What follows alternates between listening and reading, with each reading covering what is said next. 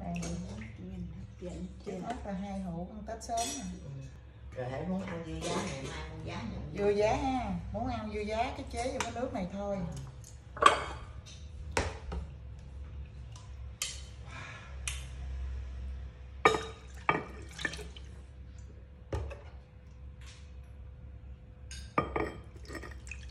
Đó. Nhức nhói tâm cam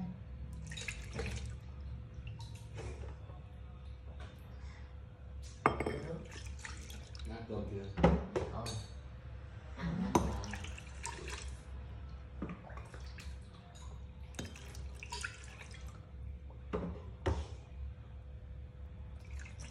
ăn ngoài không bảo đảm nhà làm chắc cứu hơn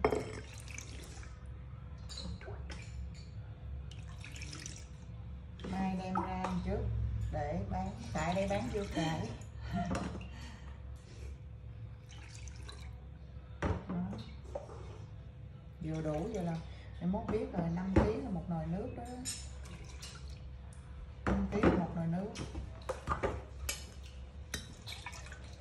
Đó tao chế nước nhiều biết chưa? Không hả? Tao chế nước nhiều vậy nè để mày mày có ăn dưa cải á. À, ăn dưa ăn dưa giá đó mua giá bỏ vô lấy nước. Lấy nước ra nha bà. Để ngâm ở đây hư hư cái nồi như thế này luôn nha bà Thằng nói nó nó hiểu đi, mua giá vậy nó giận vô đây hư luôn cái nồi. Cái cái ao dưa cải của tôi luôn đó. Vậy. rồi ơi vừa đủ luôn. Ờ, đó trời ơi nhức nhói chưa? Ờ, là vậy là canh là bao nhiêu cải